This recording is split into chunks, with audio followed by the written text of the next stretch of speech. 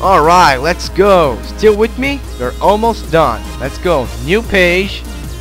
Trigger. Right here. Now let's go here. Number of turns. Set 0 and 0. Click OK. And right here. Let's go right here. Call common event and the limit event. Click apply and there you go. It's done. But wait. There's something important you must know. Let's go right here to show.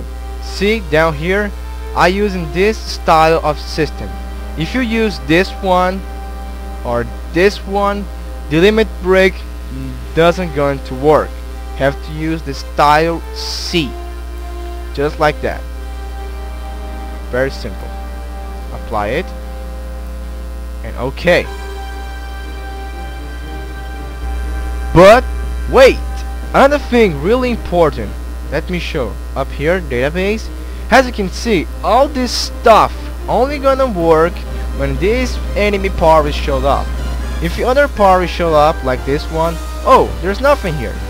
Which means, if you want the limit break work perfectly fine, you have to do the exact same thing to the, all the other enemies party. And that's it.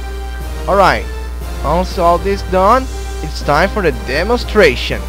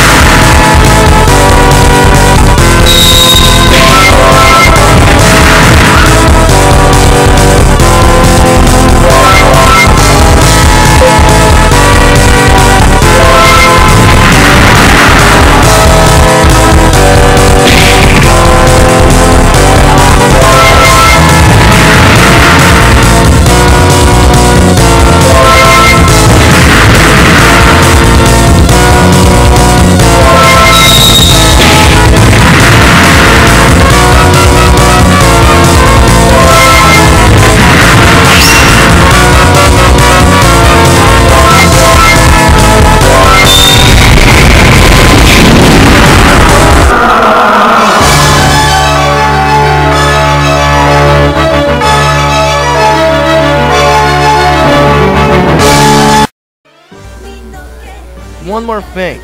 Well, as always, thanks for watching. I hope this video helps someone making a better game. And if you have some questions, just leave a comment below. I'll be glad to answer. Well, that's it for now. See you guys later.